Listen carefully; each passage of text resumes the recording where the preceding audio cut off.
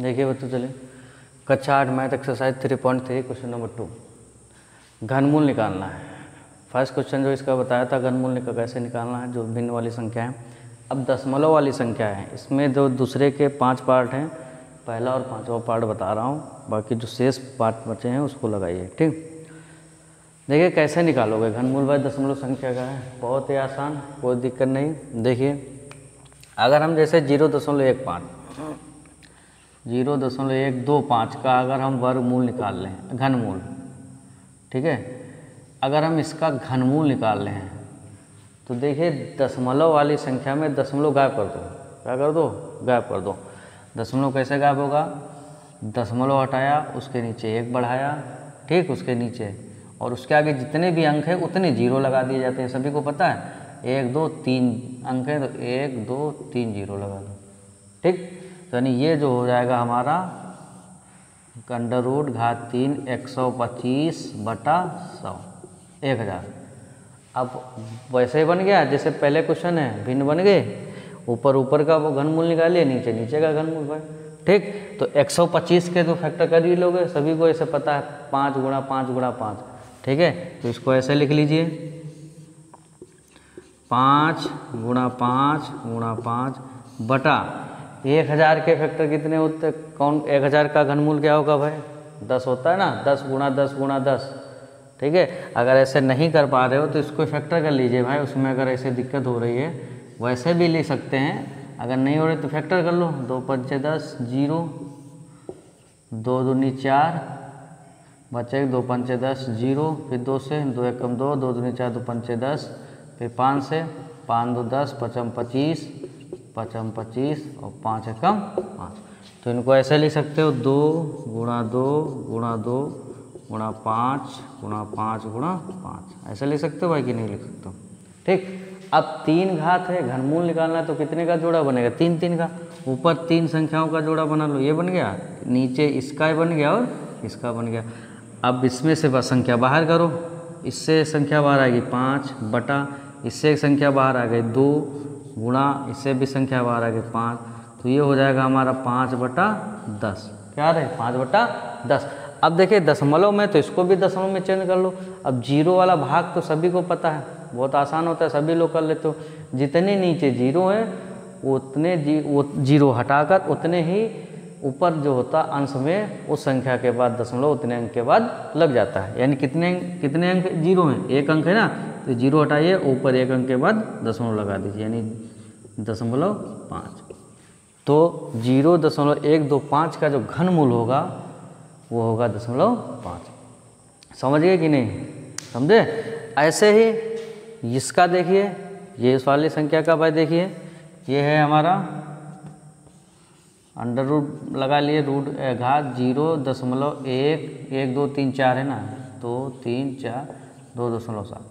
तो क्या करोगे? सबसे पहले दशमलव हटा लीजिए। भगाइए दशमलव भाई तो दशमलव हटाया, उसके नीचे एक बढ़ाया, और बाकी उसके आगे जितने अंक हैं, गिन लीजिए, एक, दो, तीन, चार, पाँच, छः हैं तो छः ज़ीरो लगाइए। एक, दो, तीन, चार, पाँच, छः।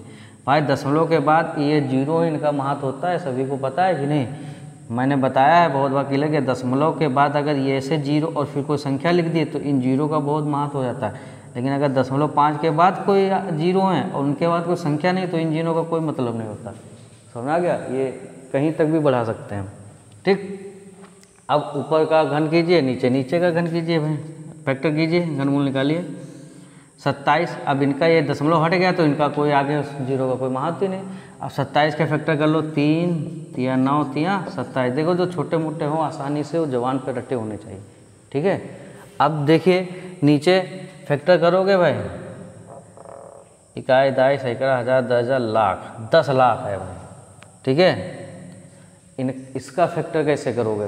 तो देखिए, एक तो तरीका बता रहे हैं। घन में घन में भाई, अगर मान लीजिए दस लिखा है, दस की घात तीन है तो दस को हम कितनी बार लिखेंगे? तीन बार। और यानी तीन बार लिखने के मतलब ज़ीरो कितने लगेंगे? तीन लगेंगे। ठीक? ऐसे ही अगर हम सौ है सौ की घात तीन है तो सौ को कितनी बार लिखेंगे हम? तीन बार लिखेंगे। ठीक? और तीन बार लिखने का मतलब है ज़ीरो कितने आएँगे? छः। कितने आएँगे? छः।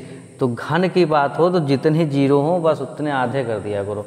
एक, दो, तीन, चार, पाँच, छः हैं? उसका आधा कर दो यानी छः के आधे के छः आधे नहीं मतलब छः को जो है तीन भागों में बांट लीजिए, जो छः ज़ीरो है।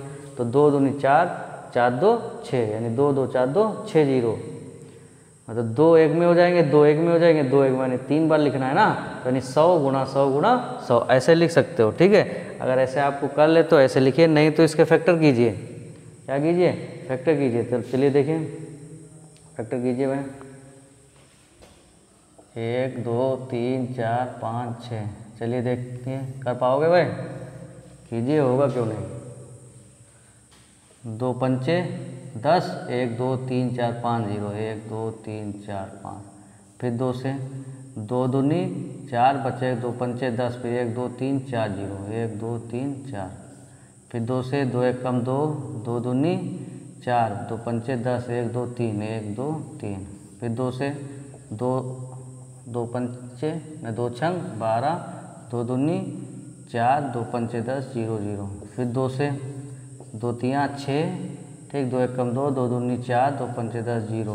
फिर दो से दो एक कम दो बचा एक, दो पंचे दस, दो छंग बारह, दो चार, दो पंचे दस। अब पाँच से पाँच दिया पंद्रह पाँच एकम पाँच, ठीक है पाँच दून दस, पचम पच्चीस। फिर पाँच से पाँच छः का तीस पाँच दून दस, पचम पच्चीस। फिर पाँच से पाँच एकम पाँच पाँच दून दस, पचम पच्चीस, फिर पाँच से पाँच दून दस, पचम पच्चीस हो गया, पचम पच्चीस और पाँच एकम, पाँच, बस हो गया फैक्टर समझ रहा अगर उससे दिक्कत हो रही हो, भाई जैसे मान लीजिए, एक के आगे नौ ज़ीरो हैं, एक एक, दो, तीन, चार, पाँच, छः, सात, आठ, नौ। तो नौ का मतलब है उसको तीन भागों में बांट लीजिए, क्योंकि घन में तीन का जोड़ा बनता है तो तीन तियाँ नौ। यानी तीन तीन तीन ज़ीरो होंगे एक के साथ समझे? यानी तीन तीन ज़ीरो जब एक के साथ रखोगे तो एक हज़ार एक गुणा एक हज़ार गुणा एक हज़ार, यानी इसका जो घनमूल आएगा क्या आ जाएगा? एक हज़ार। ठीक? तो अगर वैसे नहीं कर पाओ फैक्टर करो भाई। समझ आ रहा है कि नहीं आ रहा है? तो हाँ फैक्टर लिख लीजिए। कितने हो गए भाई हमारे? दो कितनी बार है? एक, दो, तीन, चार, पाँच छः बार है। और एक, दो, तीन, चार, पाँच छः पाँच भी छः बार है। एक, दो तीन, चार, पाँच, छः। एक, दो, तीन, चार, पाँच, छः। जोड़ा बनाइए इसका जोड़ा बन गया, ये बन गया, इसका बन गया, इसका बन गया, ये बन गया। बाहर का संख्या, तीन बट्टा इससे एक संख्या बाहर, दो, इससे संख्या बाहर, दो, इससे एक बाहर आ गया, इससे एक बाहर आ गया। यानी कितना हो गया? तीन बटा दो दो चार पंचे, बीस पंचे सौ। वही चीज़ देखो आगे जो हम बता रहे थे ये। सौ। यानी जितने भी ज़ीरो हों, उनको इतने में डिवाइड कर लो कि वो तीन तीन बार लिख जाएँ। ठीक है? अब नीचे क्या है? दो ज़ीरो हैं, इनको गायब करना है भाई। क्या करना है हमको? हटाना है। यानी दशमलव में अगर संख्या है, उसका वर्गमूल, घनमूल निकालना है तो दशमलव में निकालें। तो जितने ज़ीरो हैं, उतने ऊपर जो है, अंक के बाद दशमलव लगा लेंगे। नीचे कितने ज़ीरो हैं? दो। तो ऊपर जो होगा, दो अंक के बाद दशमलव अब अगर अंक अगर अंक नहीं है तो दशमलव ज़ीरो क्या करेंगे? बढ़ा लेंगे।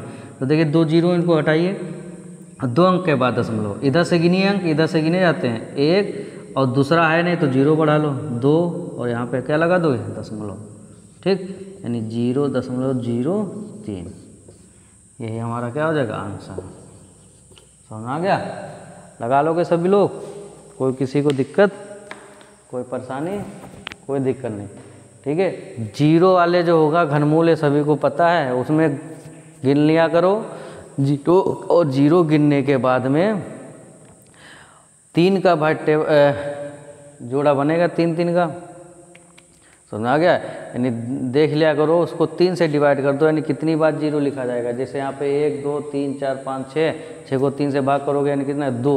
यानी तीन जगह जो है दो दो बार ज़ीरो लिख दो। वही दो वो आ गया और उसका जोड़ा बन जाएगा सौ आ जाएगा हमारा। समझ आ रहा है कि नहीं? ठीक है? तो जैसे भी कर पाना, इसको करना भाई। अगर कोई दिक्कत हो बताना, चाहे ऐसे फैक्टर कर लेना या सौ वाला जो हज़ार ज़ीरो वाले हैं जो सीधे रख सकते हो, कोई दिक्कत नहीं। तो दूसरे के सभी पार्ट लगाइए। आपका होमवर्क में है। ठीक है? दूसरे के जो जितने भी पार्ट हैं, एक से पाँच तक, वो सब लगाइए। और ग्रुप पर भाई लगा के सेंड करो। ठीक? Thank you